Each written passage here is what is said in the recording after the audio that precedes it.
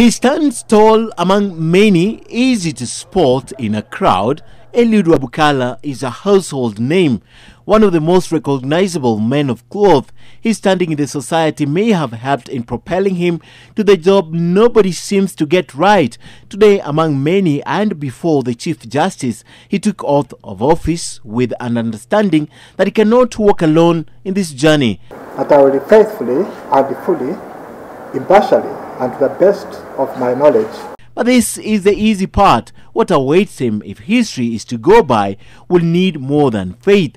Unlike those who went before him, who often began their terms by bringing the war right at the doorstep of Integrity Center, Archbishop Wabukala has a different prescription for the commission, one that will ensure when they rise, they rise together, and when they fall, they fall as a house. His may have been a tough decision to make, having retired honorably at the helm of the Anglican Church.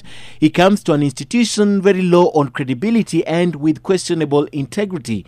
His predecessor, Philip Kinisu, never lasted a year. Before him was Mumo Matemo, whose reign was full of ups and downs, eventually leaving when it became apparent he would not outlast those who came before him. This job has the highest birth and the death rate in public service. But that's no reason not to take the job. Someone has to do it. His entry too is full. Wabukala may have to begin right home. The commissioners and the secretariat have been accused of presiding over graft, his predecessor having put them on the spot for being the impediment in fighting graft. They were all there as he lifted the Bible to take his oath. I join this commission as a team leader, and together we shall endeavor to execute the mandate of the commission as we are obligated under the Constitution. It is the first time a man of cloth has been thrusted to the helm of the anti-graft body. He comes in with experience having been a member of the anti-corruption steering committee. But even those who have worked with the commission to resolve graft cases know that experience alone won't count.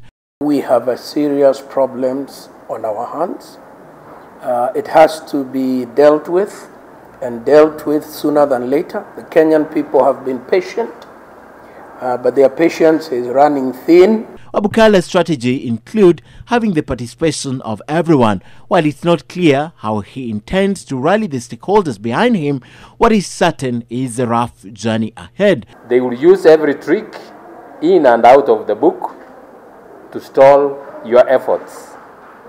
They will try uh, to capture institutions, including yours, undermine efforts however noble, attack your person however unfair, and attack your motives however innocent. Wabukala takes over with immediate effect to complete the commission that has been without a head for nearly six months. Ken Mijungu, NTV.